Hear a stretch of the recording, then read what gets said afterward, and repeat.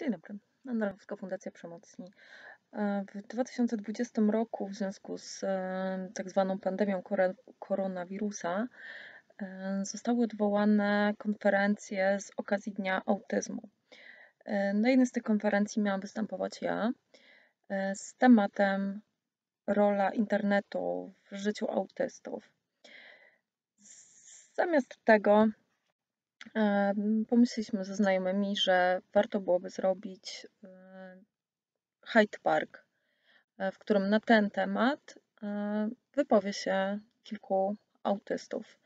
E, film, który zaraz zobaczycie, jest jednym z tych filmów, a ogólnie na kanale jest ich kilka. Zapraszam do oglądania. Dziękuję.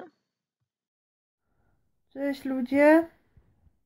Nagrywam z mojego studia, czyli z barłogu zwanego łóżkiem.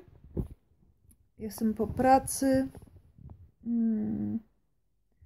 Ściorana jak mój stary kapeć, który się nażarł wczoraj kleju.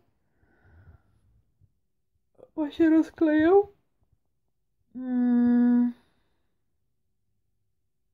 No, uroki, pracy w domu opieki, w czasie, kiedy jest lockdown i ten cały COVID i te wirusy i tak dalej pod tytułem przedstawienia się jestem znana jako Margaret Helena. Generalnie też się nazywam Margaret Helena. Znaczy się Małgorzata, ale jakoś wolę Margaret, bo w sumie wzięło się stąd, że mieszkam po pierwsze w Anglii, po drugie nie lubię brzmienia Małgorzata jakoś. Nie wiem czemu, po prostu nie lubię. Również się wzięło stąd, że Większość moich znajomych to są e, ludzie angielskojęzyczni, Anglicy czy Brytole generalnie i dla nich powiedzieć Małgorzata, Małgosia czy coś takiego to jest po prostu tortura, więc nie torturuję moich znajomych. jest im po prostu lepiej z imieniem Margaret. I mnie też.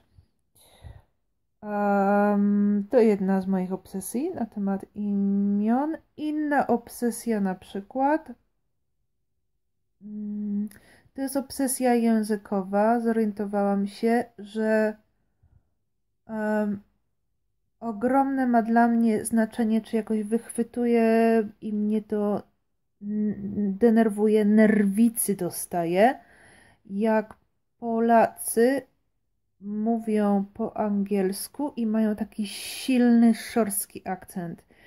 To jest dla mnie coś takiego, jakby po tablicy jeździć, wiecie, po szkolnej tablicy jeździć cyrklem. Och! Nie wiem, czemu tak to odbieram.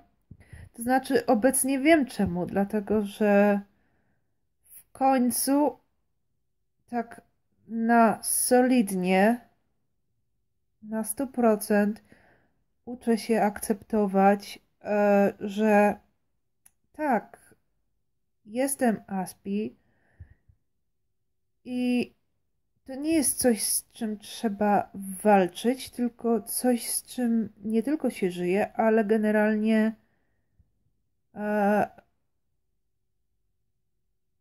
używa się to, czy raczej poznaje się to. To jest coś takiego jak cecha i czy, czy jakiś talent, czy jakiś dar, czy, czy charakterystyka osobowości. Nie, to nawet jest więcej.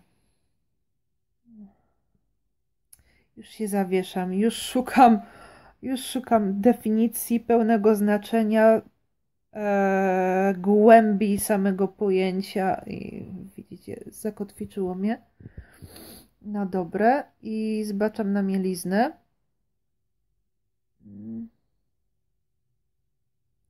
No mniej więcej mam takie rozkminy.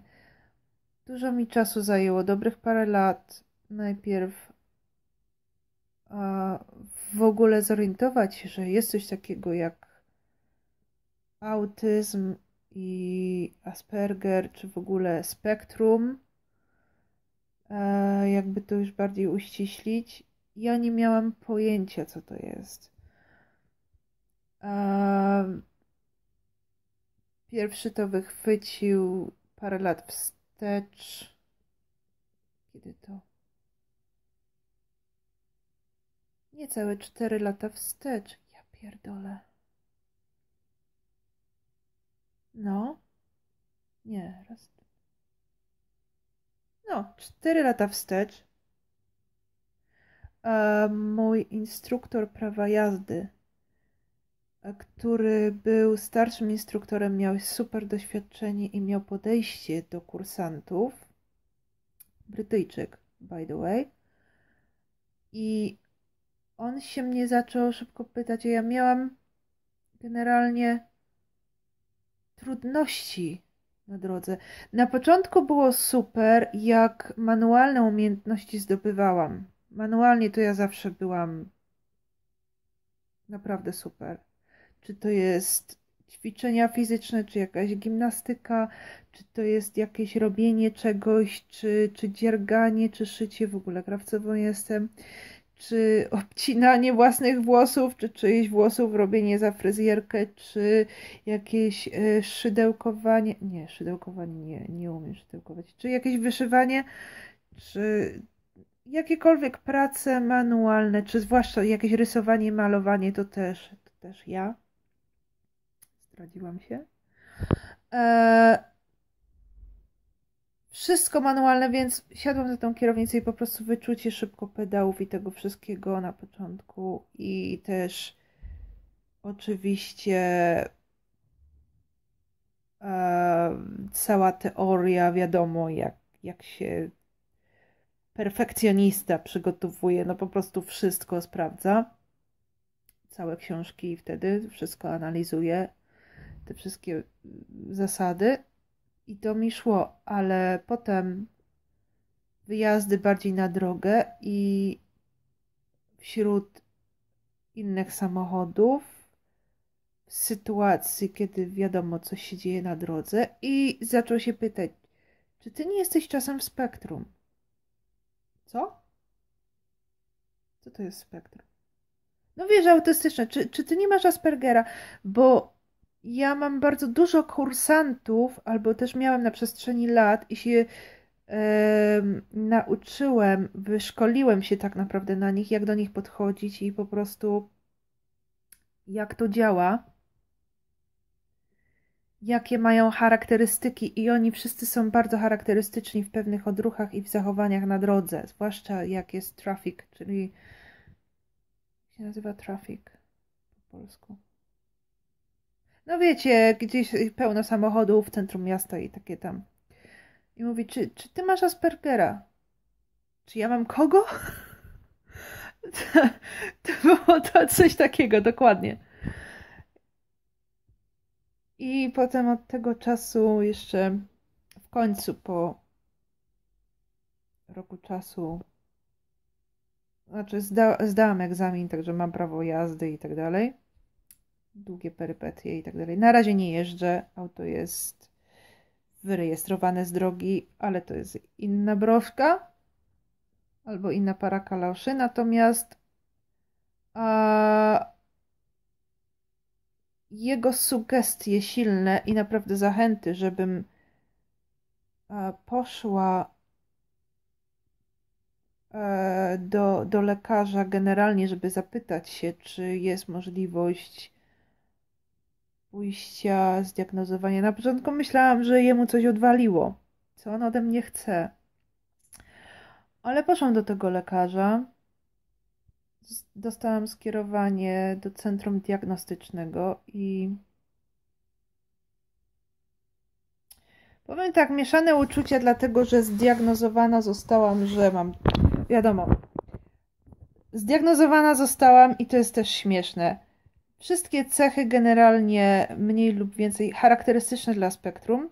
Wszystkie jak um, te arkusze wypełnia się z, z tego e, Wszystko wyszło na tak, tak, zdecydowanie spektrum. W cholerę punktów ponad normę. Ale jak przychodzi do rozmów, czy po prostu gadki, czy później takich testów już e, ze specjalistką jedną i drugą. Miałam dwie zamiennie, które po prostu chciały tam inne testy robiły. No to wychodzi na to, że dostaje diagnozę. E, ma charakterystyczne cechy, ale nie jest wystarczająco autystyczna. Czyli po prostu kurwa nie wiem, co oni się spodziewają.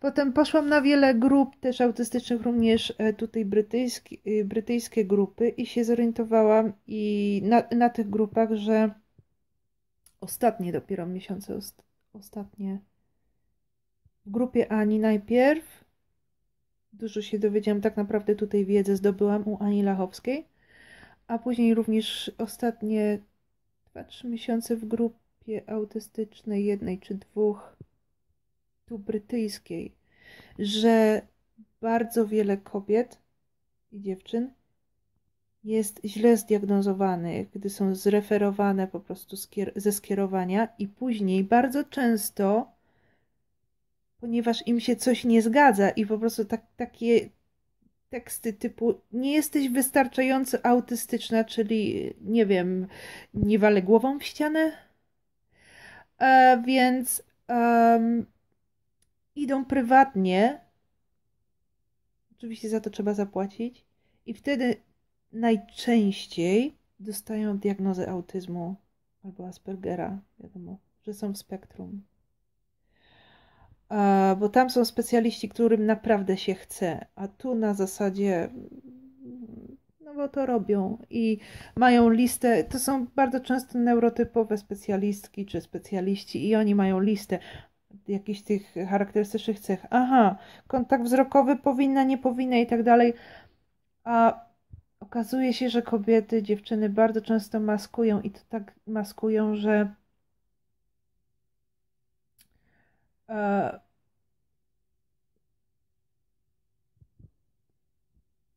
terapeuta naprawdę musi wiedzieć, co robi, musi orientować się w kobiecym spektrum autyzmu, które jest kompletnie czymś innym, bo inaczej a, będzie przyrównywał do autyzmu u mężczyzn. I to jest coś zupełnie. To jest totalnie co innego, i w każdym razie, kurde, znowu się gubię w myślach. No chodzi o to, że musiałabym to zrobić prywatnie. Pomyślałam sobie, kicham, nie jest mi to potrzebne do szczęścia i nie jest potrzebne do niczego. Ale przez długi czas jakoś siedziało mi w głowie na zasadzie, to są specjaliści, oni mają rację, więc skoro nie jestem wystarczająco autystyczna, czyli oficjalnie nie jestem w spektrum, tylko mam, chociaż mam cechy spektrum, ale kurwa nie jestem w spektrum, Ogarnijcie to. Więc potwierdza się to, co już od dawna, od lat czuję e, w relacjach z otoczeniem, gdy jestem za każdym razem to zderzenie z rzeczywistością, kiedy jest ja i otoczenie, ja i inni ludzie, ja i środowisko, że ja jestem jakaś wewnętrznie totalnie pojebana. Że jakaś że ja jestem wewnętrznie jakaś popsuta. Nie wiem, w samej swojej strukturze. I z tym się już nic nie da zrobić. Ja tego w ogóle nie określałam jako swoją cechę, tylko jako swoje zjebanie. Zresztą za te cechy byłam bardzo niszczona w domu więc w domu rodzinnym. Więc e, dla mnie kontakt z otoczeniem o, oko w oko, takie to było e, nieustająca próba maskowania, naśladowania, zastanawiania się, który z wzorów, które pamiętam, może od tej osoby, od tej dziewczyny, od tamtej, może akurat tu się sprawdzi? Czy jakaś taka cecha, czy takie zachowanie, czy może powtórzyć to, co któraś tam dziewczyna powiedziała w jakiejś sytuacji i tu by pasowało? W końcu nauczyłam się jedynie jako metoda przetrwania, jakoś po latach, zwłaszcza ostatnie lata tu w Anglii. E, e, nauczyłam się błaznować, czyli generalnie używać swojego poczucia humoru i inteligencji. Wreszcie dotarło do mnie, że jestem inteligentna, że mam erudycję i a, potrafię opisywać fantastycznie i sarkastycznie, ironicznie rzeczywistość, co nie znaczy, że ogarniam tą rzeczywistość, tylko to, że mam zabawne różne opisy i generalnie zaczęłam zdobywać jakby aprobatę albo przynajmniej akceptację, ale charakterystyka nie wśród Polaków. To są Anglicy. Jakoś Polacy mi się tu wykruszyli generalnie. E... Jedyni Polacy tak naprawdę, z jakimi ja mam kontakt, który jest kontaktem owocnym, który coś mi dał i który coś mi daje, pomimo czasami momentów tak jak teraz, że jestem naprawdę, naprawdę zmęczona, naprawdę obciążona z przyczyn i okoliczności, na które tak naprawdę do końca nie mam wpływu, bo sytuacja jest generalnie w kraju kwarantanna i tak dalej. Więc e, relacje z Polakami jedynie mam wartościowe poprzez internet. I w ogóle z ludźmi poprzez internet. To znaczy, również ostatnio mam wartościowe, bardzo fajne w mojej pracy, bo mam naprawdę bardzo dobrą atmosferę w pracy. I jest menedżerka, właścicielka, która bardzo się zajmuje rozwojem osobistym, duchowym, mindfulness i te wszystkie sprawy. I ona przyciąga tak, taką kadrę i, i um, takich ludzi preferuje. I wiadomo, podobne przyciąga podobne, podobne i ona na tym rezonuje i po prostu to tworzy atmosferę akceptacji, fantastyczną atmosferę wspierania w pracy, ale nawet z tym wszystkim i nawet z tą świadomością, że mam cechy autystyczne i nawet będąc akceptowana z tymi cechami wreszcie, wszyscy wiedzą, że ja jestem autystyczna. I nawet jedna z menedżerek ostatnio mówi: W ogóle widzę u ciebie charakterystyczne cechy. Ja pracowałam wcześniej w innym miejscu z dzieciakami autystycznymi, w ogóle w spektrum. I ja widzę u ciebie te cechy. Po prostu tego się nie da ukryć. I pomimo więc tego zrozumienia, tej akceptacji, wsparcia i doceniania również od moich współpracownic i współpracowników. Dla mnie te kilka godzin w pracy w tym domu opieki wystarcza w zupełności jako relacje międzyludzkie. Ja wracam do domu z tej fajnej atmosfery, chociaż się narobię, wiadomo, zapiernicz. Wracam i jeśli chodzi o relacje międzyludzkie, jakieś takie właśnie oko w oko, mnie to zupełnie wystarcza. Jak jestem obciążona i jest za dużo, i ja za dużo nawet dyskutuję na zasadzie, coś za dużo w pracy dyskutuję. Później wracam do domu, jeszcze tutaj na forum dyskutuję na, na grupie Ani, na której jestem. i, i jeszcze tutaj dyskusje o tym, o tamtym, jeszcze ktoś ma problemy, czy ktoś się czegoś boi, albo ja się stresuję i coś, wiadomo, to ja się czuję tak obciążona, że ja się robię jak kaktus i uciekam. I w tym momencie, gdy myślę o tych wszystkich latach, kiedy słyszałam to całe pierdolenie, że ja potrzebuję być fizycznie z drugim człowiekiem, bo przez internet to nie jest to samo. Kurwa, fizycznie poznałam ludzi mojego otoczenia bezpośrednio, również tutaj w Anglii, od którego ostatnie miesiące się w ogóle odcięłam, ale fizycznie ich wszystkich poznałam i przez lata cały czas, co tydzień miałam kontakt. I jakoś to nie pomogło. I mojego ex poznałam też, wiadomo, fizycznie, nie przez internet. I też mi nie pomogło to poznać człowieka, dopóki sytuacja nie była taka, że przyszedł jakiś problem i się okazało, że ma cechy narcystyczne. Czyli ja nie wiem, jakim cudem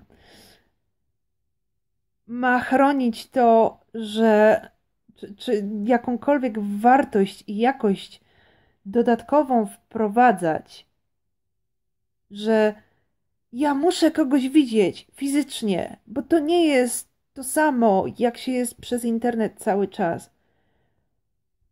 Owszem, sporadycznie to jest fajne. Sporadycznie, ale jak ja widzę, ludzie to robią cały czas, jak neurotypowi ludzie. Jak oni się nie wypalają, ja nie mam pojęcia.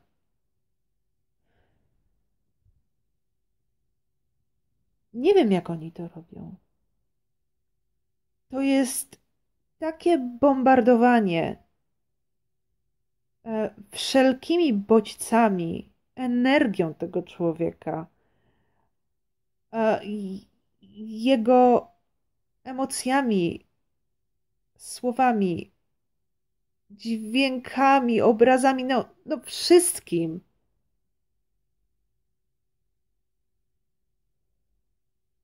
Przecież to można naprawdę.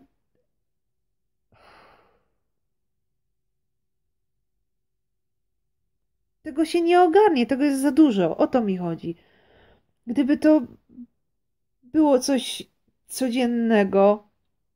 Ja bardzo dużo przebywałam z ludźmi poprzednio, tak jak mówię, w moim poprzednim otoczeniu, czy z moimi poprzednimi kontaktami. Cały czas tam i się tak wypaliłam, że miałam dosyć. Więc gdyby nie ten internet teraz. Właśnie, wypaliłam się, a tak naprawdę okazało się później, że ja tych ludzi nie znałam. A dlaczego? Dlatego, że jakoś w sobie sama podświadomie izolowałam się, bo za dużo, za dużo bodźców na raz. A jak jest za dużo, to mnie odcina i wtedy odcina mnie nawet od możliwości poznania tego człowieka. Natomiast jeżeli ja z tym człowiekiem piszę właśnie przez internet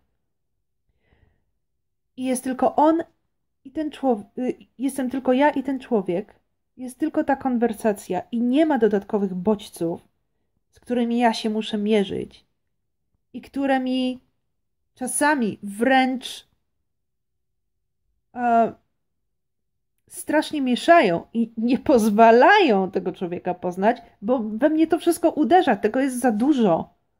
Za dużo informacji.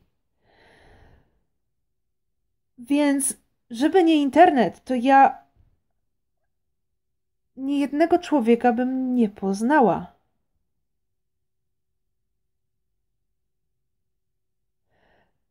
Kiedy z moim byłym zaczęło się w naszych relacjach naprawdę solidny konflikt i, i po prostu była sytuacja, że ja postawiłam się, powiedziałam nie i tak dalej, to myśmy wtedy korespondowali generalnie na Messengerze cały czas. Ja go nie widziałam fizycznie, bo on się poobrażał i tak dalej.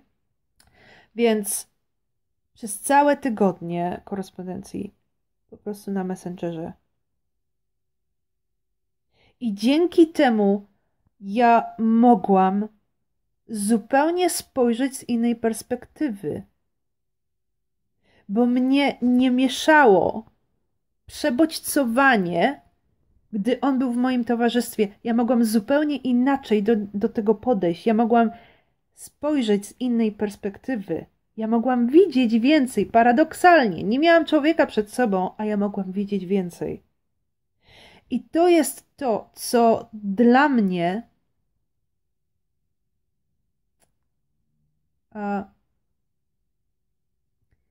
co, co mnie dał internet, co mnie jako osobie w spektrum daje internet. Te relacje na grupie.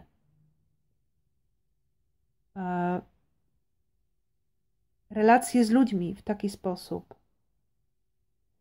gdzie ja, ja ciągle mam jakiś program, że w sobie który ostatnie parę dni mi uderzył, znowu zaczął mi walić na dekiel, że to nie jest to samo, bo trzeba fizycznie, bo wiesz, to jest tylko internetowo, to jest tylko wirtualne. To nie jest prawdziwy człowiek. Gdzieś tam mi jeszcze uderzyło.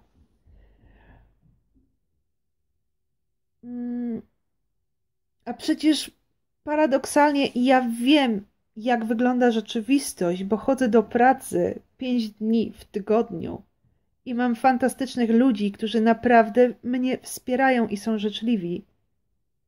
A ja po prostu, jakbym miała za długo z nimi przebywać fizycznie, to ja bym ich wszystkich pozabijała. Bo to jest za dużo. E, i zaczęło mi się tak generalnie robić z, z ludźmi, w kontaktach z ludźmi, zwłaszcza od czasu, kiedy poszłam na terapię, kiedy pojechałam do Anglii i ciągle ta cała terapia trwała. I kiedy w końcu wyleczyłam się mniej więcej z ze współuzależnienia emocjonalnego od mojej rodziny, to wtedy ta lękliwa potrzeba, która pochodziła z mojego syndromu DDD i DDA, nie pochodziła w ogóle z, ze mnie, z wnętrza, jako z. To nie było w ogóle moje nawet.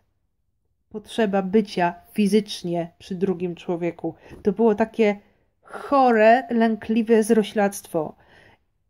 I ja się z tego wyleczyłam i od kiedy się wyleczyłam, to ja nawet nie, nie ogarniam do końca koncepcji tęsknoty za kimś, dlatego że jeżeli ja fizycznie nie widzę kogoś, ja ciągle widzę tą osobę w kontakcie internetowym poprzez teksty. I to czasami, albo przeważnie widzę lepiej, bo przebodźcowanie na żywo mi wtedy nie przeszkadza. Mam nadzieję, że ten cały wywód ma sens. Um,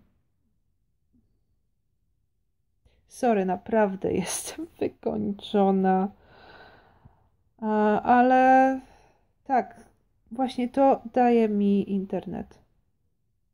Właśnie to jest dla mnie kontakt przez internet i takie ma dla mnie znaczenie. Jakby nie internet, to bym generalnie siedziała w domu, poszła do pracy, raz na jakiś czas też do sklepu i to by było wszystko. I wróciła do domu i nie dałabym rady nigdzie więcej. Skąd wiem? Bo z moim byłym żeśmy po pubach jeździli i chodzili i godzinami spędzone tam i wśród ludzi. Ja wiem, jak się potem wyłączałam, bo już po prostu nie dawałam rady. I też z dawną społecznością innych ludzi, z całej grupy gdzie fizycznie byłam i kurwa, co się w końcu zaczęło ze mną dziać. Ja się potwornie wypaliłam. Więc stąd wiem. I ciągle to procesuję jakoś, ciągle próbuję się do tego odnieść, bo jest te nowe odczucie, które jest po prostu we mnie, ta świadomość siebie, a z drugiej strony jeszcze kopię stary program, że to jest coś złego, coś tu nie powinno być, ale sama obserwacja dużo daje, na ile się da, bo czasami nie ogarniam własnych emocji, nie ogarniam co czuję, ale to też się zorientowałam e, dzięki Ani i dzięki grupie, że to jest e, charakterystyczne dla spektrum. I też się z tym żyję. Także dzięki bardzo. Pozdrawiam wszystkich z Anglii. Pa!